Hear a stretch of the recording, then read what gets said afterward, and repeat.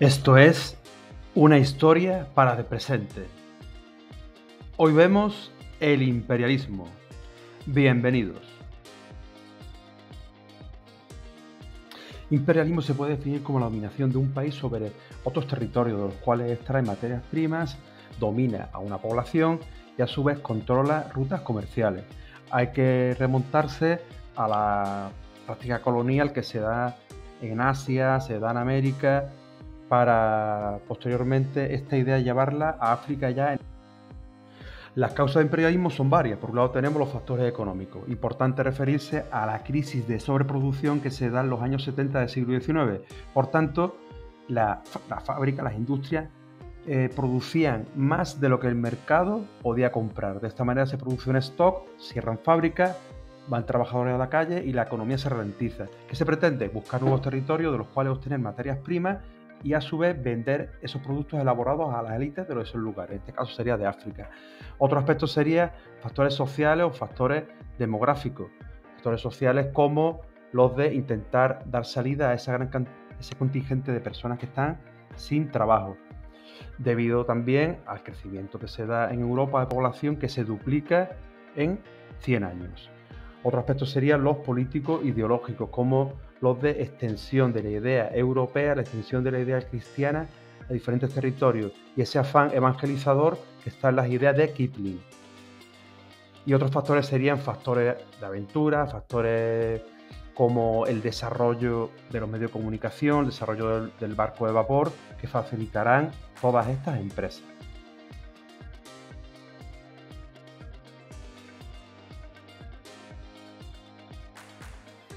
Aquí os dejo una tablita en la que se ven los factores que antes he comentado de forma más pormenorizada, por tanto podéis parar el vídeo y verlos con más atención.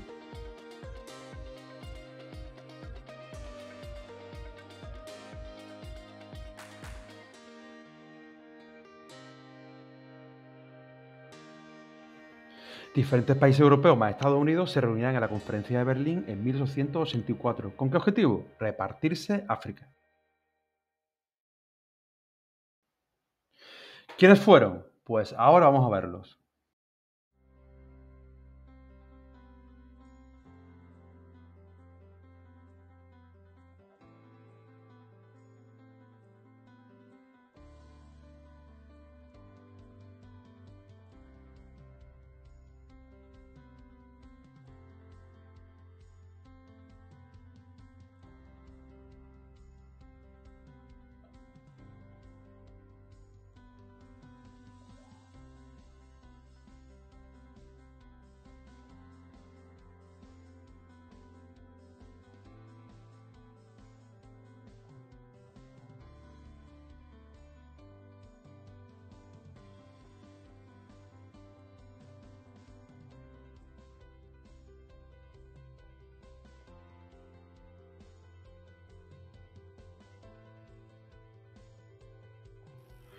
Así, de esta manera, en la Conferencia de Berlín se establecen diferentes cláusulas.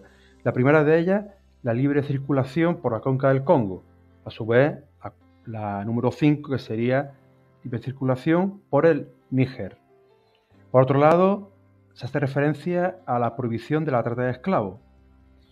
Y por último, se crea el Estado Libre del Congo. En cuanto a las consecuencias del imperialismo, son las siguientes económicas. Los países ocupantes van a sacar partido de los territorios que son asignados y de esta forma obtendrán recursos, materias primas y a su vez utilizarán esos territorios como lugares donde vender los productos manufacturados. Por su parte, los países colonizados perderán ese capital, perderán esa materia prima que será vendida, que será sustraída por los ocupantes. Demográficas. Después de un descenso por contacto de enfermedades de Europa y a su vez por motivaciones de, guerra, de conflicto, se experimenta un crecimiento demográfico, un boom demográfico, debido a la aplicación de la medicina occidental. Sociales se establecerá una élite del país ocupante, aunque por otro lado también hay que añadir que ciertas élites indígenas serán asignadas, serán puestas en puestos de segundo nivel de la administración y colaborarán con el país que invade, con el país ocupante.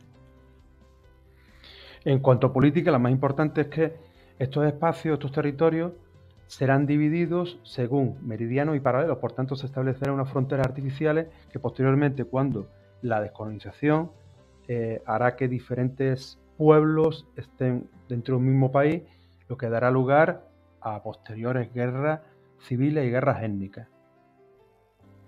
Como es obvio, el país invasor es el que impone su cultura y su ideología, y en este caso un aumento del cristianismo.